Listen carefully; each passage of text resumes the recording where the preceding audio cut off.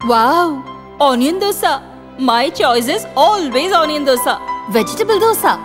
It's my choice. Podi dosa. My choice is podi dosa. Wow! Masala dosa. It's always my choice. Dosa வகைகளில் ஒவ்வொருவருக்கும் ஒவ்வொரு choice இருக்கலாம் ஆனால் எல்லா வகை தோசைகளுக்கும் ஒரே சாய்ஸ் இதயம் சுரா கைட் பதினோராம் வகுப்பு பொதுத் தேர்வுக்கான புதிய பதிப்பு அதிக மதிப்பெண் பெற சுரா கைட் அனைத்து புத்தக கடைகளிலும் கிடைக்கும் also available on Amazon Flipkart and Sura books dot com ராமநாதபுரத்தில் அதிமுக வேட்பாளரை விட முன்னாள் முதல்வர் ஓ பன்னீர்செல்வம் சுயேட்சையாக போட்டியிட்டு ஒரு லட்சம் ஓட்டுகளுக்கு மேல் பெற்றுள்ளார்.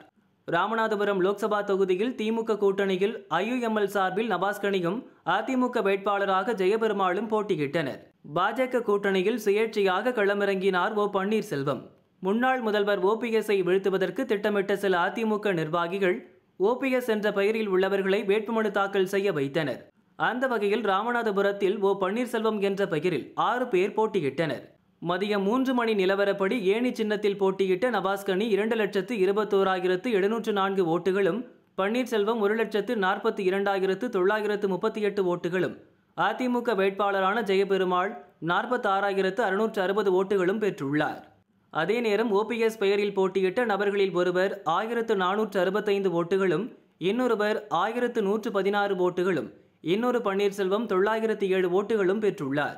இதில் நோட்டாவுக்கு மூன்றாயிரத்து இருநூற்று இருபத்தொன்பது ஓட்டுகள் விழுந்துள்ளது. அந்த வகையில் பன்னீர்செல்வம் பெயரில் போட்டியிட்ட ஆறு நபர்களால் தேர்தல் முடிவுகளில் எந்தவித தாக்கமும் ஏற்படவில்லை.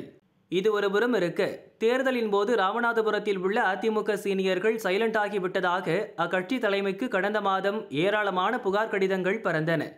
அந்த கடிதத்தில் கழக வேட்பாளர் ஜெயபெருமாளுக்கு ஆதரவாக சீனியர்கள் ஒருவர் கூட முழு மனதுடன் தேர்தல் வேலை பார்க்கவில்லை.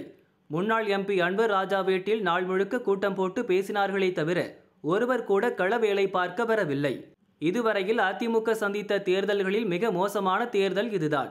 கட்சியின் செய்தி தொடர்பாளரான கல்யாண சுந்தரம் உள்ளிட்ட பேச்சாளர்கள் ராமநாதபுரத்துக்கு பிரச்சாரத்துக்கு வந்தபோது கூட அவர்களை முழுமையாக பயன்படுத்தவில்லை.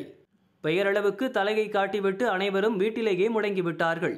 பன்னீர்செல்வத்திடம் இவர்கள் விலை போனார்களா என்பதை தலைமைதான் ஆய்வு செய்ய வேண்டும்.